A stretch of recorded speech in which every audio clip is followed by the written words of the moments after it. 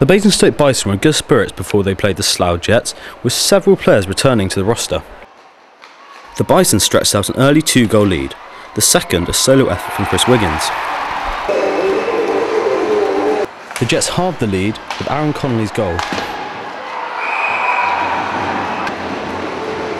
The Jets then drew level thanks to a well placed shot from Shepherd.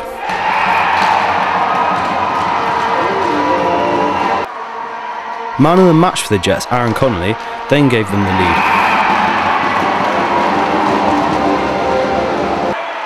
Captain Nicky Chinn equalised for the Bison, putting his team back in the game.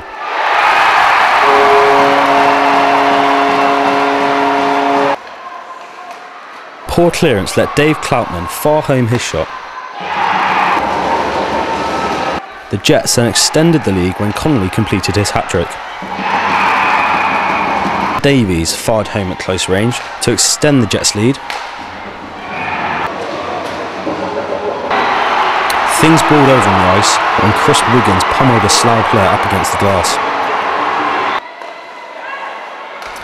The game was rounded out by Daniel Puskalkas, who scored two final goals to end the game 3 8. This five goal defeat has rounded off a bad spell for the Bison, who have now lost three games in a row. Henry Lewin-Titt, Winchester News Online.